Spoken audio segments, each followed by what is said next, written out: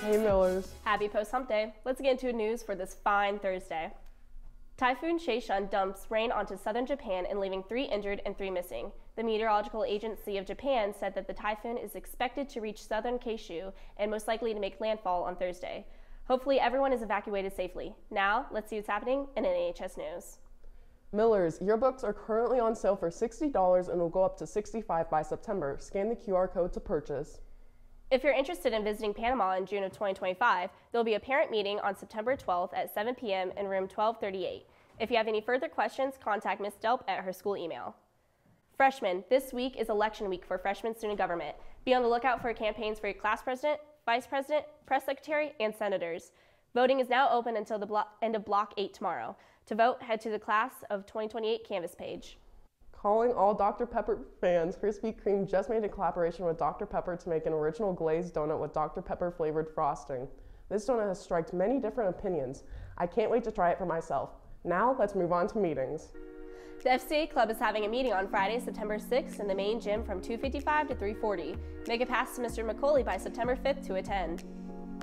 The basketball cheer season is having a call-out meeting held on September 3rd at 6 p.m. in the junior senior cafeteria. Tryouts will be held September 10th, also at 6 in the Community Center. DECA is having a call-out meeting on Wednesday, September 4th on Google Meet. The meeting starts during Block 8 at 2.20. Email Mr. Milby at his school email for the invite link to join. Leo Club is having a meeting on Friday, August 30th. Send a pass to Mr. Smith if you want to attend.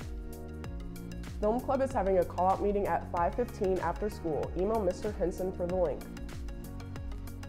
That was a lot of meetings. Right, let's jump into sports.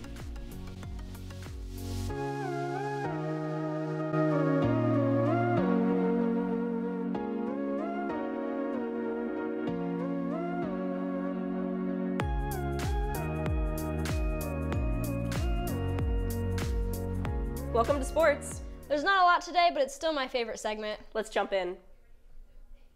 Your girls varsity volleyball team beat Pendleton Heights on Tuesday with the final score of 3 to 1. They won three close sets with great performances from Chloe Massius, Kennedy Lutz, and Madison Brown. They will face Avon tonight at 7 p.m. Good luck, girls. This Saturday, your boys and girls cross country teams will be racing at the Hamilton County meet.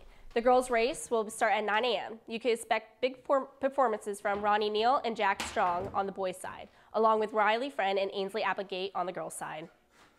It's time for the Paralympics to begin. The opening ceremony will start on Wednesday and will go till September 8th. It's the first Paralympics to be in France and the first since COVID-19 to have fans fill the stands. I'm so excited to watch the Paralympics. Now, over to sports tonight. For sports tonight, girls JV golf tees off at 4.30 against Carmel at Harbor Trees Golf Club. Boys tennis starts at 5.30 at home against Zionsville. Boys JV and varsity soccer face, face Brebeuf. JV starting at 5.30 and varsity starting at 7. All girls volleyball teams will play tonight away at Avon. Freshmen and JV are at 6 and varsity is at 7. Good luck, Millers. That's all for today, Millers. We'll see you this Friday. Peace.